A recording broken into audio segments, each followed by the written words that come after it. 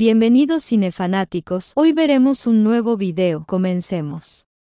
Resumen y curiosidades de la película El Camino hacia el Dorado.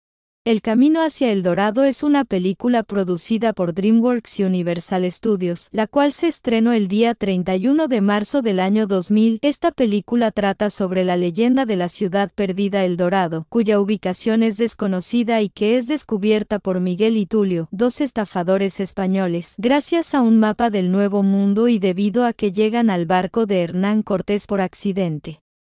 Al escapar del barco, siguen el mapa y llegan hasta la mítica ciudad, donde son confundidos con dioses. Tulio y Miguel siguen la farsa gracias a una nativa llamada Chel, ante el jefe y el sacerdote de la ciudad durante unos días para poder llevarse los tributos en oro que los habitantes les regalan, y poco a poco Miguel se encariña con el pueblo y Tulio se enamora de Chel, pero al notar que el pueblo tenía las costumbres de los sacrificios humanos y al no estar de acuerdo, son descubiertos por el sacerdote como simples humanos. Tulio y Miguel comienzan a tener diferencias, debido a que Tulio desea irse con Chela a España, y Miguel quiere quedarse en El Dorado. El sacerdote, gracias a su magia, utiliza a un jaguar de piedra para acabar con los falsos dioses. Pronto este es derrotado gracias a que Miguel y Tulio discuten y en la distracción lo arrojan hacia el vórtice de agua que se utilizaba para hacer sacrificios. El sacerdote no muere y es encontrado por Cortés, a quien guía hacia el dorado.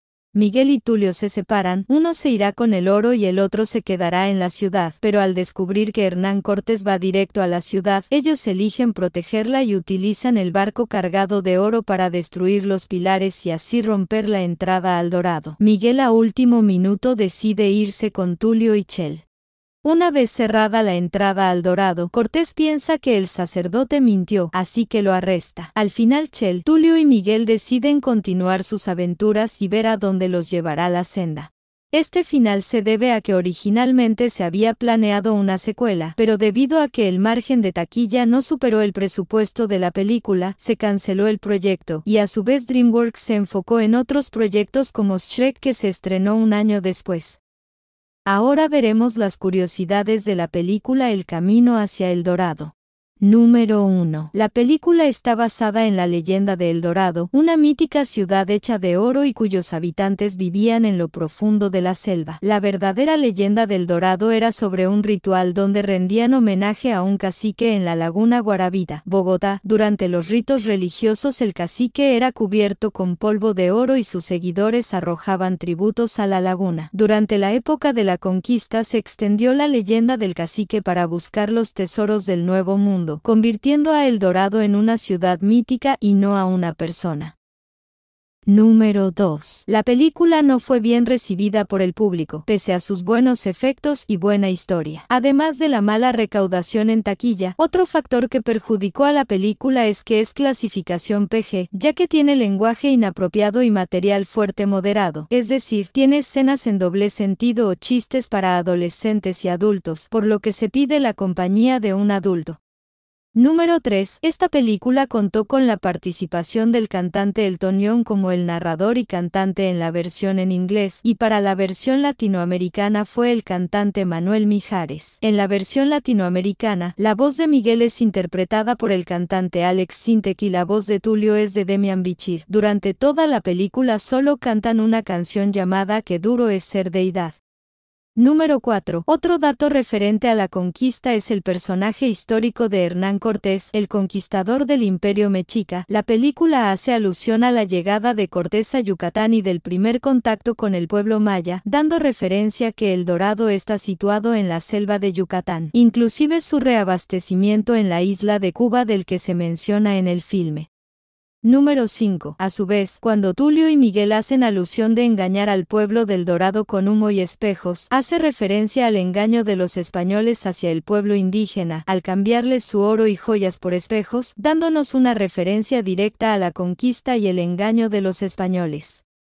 Número 6. Como evento histórico, Hernán Cortés salió de España en el año 1518 y llegó a la costa de Yucatán en el año 1519, no como en el filme que todo ocurre simultáneamente en el año 1519. Número 7. Durante el filme, Tulio y Miguel son llevados a jugar pelota por sugerencia del sacerdote, Debido a que los dioses saben jugar apropiadamente, eso hace referencia a la leyenda maya de los gemelos divinos, que retaron a los dioses a un juego de pelota, convirtiendo a este deporte en un ritual sagrado donde la pelota hecha del árbol de caucho simboliza al sol. Los jugadores podrían jugar de uno a uno, en parejas o en equipo de cinco. Las reglas eran sumar y restar puntos las veces que la pelota entrara en el aro y en donde eran llevados sacrificios humanos. Este deporte practicó por la cultura maya. Es por eso que en esta escena el sacerdote descubre que Miguel no es un dios, ya que vio que éste puede sangrar.